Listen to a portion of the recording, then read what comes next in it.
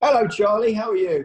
I'm good. Tell me what you do, exactly what you do. Right. So I'm an emergency response volunteer. We had the offer to to be redeployed onto our support line to check that people weren't going to fall through the cracks. And quite often Yeah. people just feel a million times better just getting something off their chest. You can hear the just the change of tone in their voice from Mm. worry and anxiety to oh well actually someone cares and someone you know is going to do their best to help me there's just something i think quite magical you know when you can have that connection with someone No, it's, it's a wonderful organisation. And, um, I think you're brilliant. So well done, Charlie. And um, you're making a difference to people. And what a lovely thing um, to be able to do.